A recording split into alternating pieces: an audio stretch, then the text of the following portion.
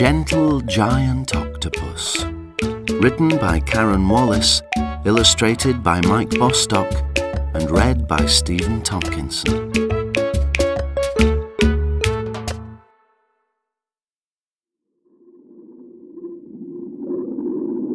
A gentle giant octopus jets through the shadows.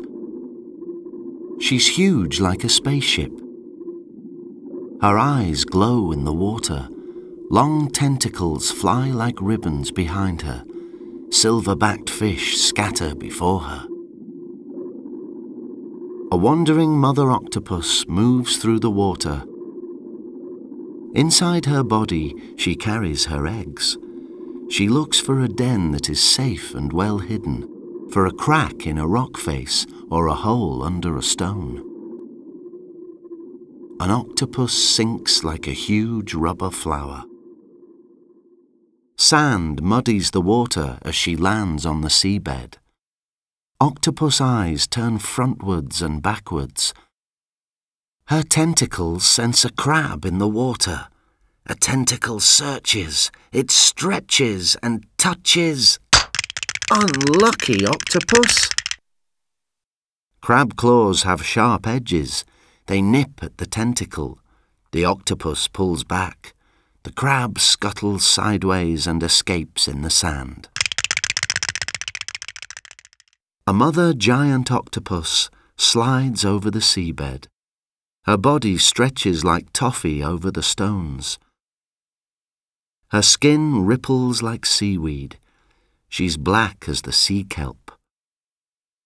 The goggle-eyed octopus feels her way forwards. But under a boulder, a wolf eel is waiting. His mottled grey face darts from the shadows. His teeth strike like daggers. He rips off a tentacle, then sinks like a nightmare deep into his den. A frightened giant octopus squirts ink at the wolf eel. She shoots back from the boulder, back over the seabed. She's pumping and sucking the sea from her body. A quivering giant octopus rests on a boulder. Underneath is a cave that is easily guarded. She squeezes inside. She drags pebbles around her. Her search for a home is over at last. A mother giant octopus lays eggs in her cave den. They hang from the roof like grapes on a string.